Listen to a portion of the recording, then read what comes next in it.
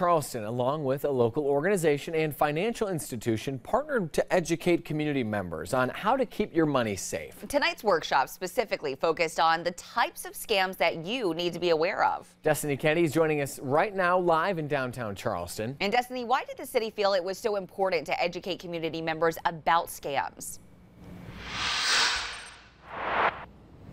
Michael, Justin, organizers tell me there are more than 7 million fraud cases reported, and workshops like these help community members avoid being a scammer's next victim. A lot of people, you know, call you on the phone and say this and that, and then um, before you know it, you'll give out your money.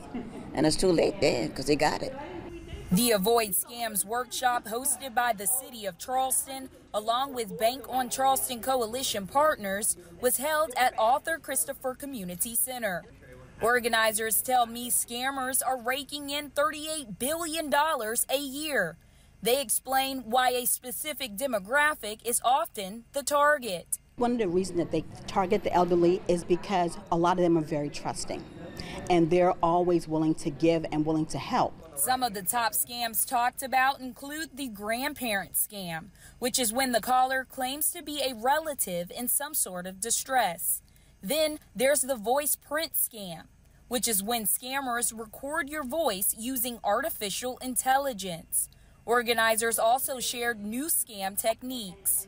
The gift card scam because now what they're doing is people are purchasing the gift card, but if they're not aware that the barcode on the back has already been used, when the senior gets home and tries to use it, there's no money.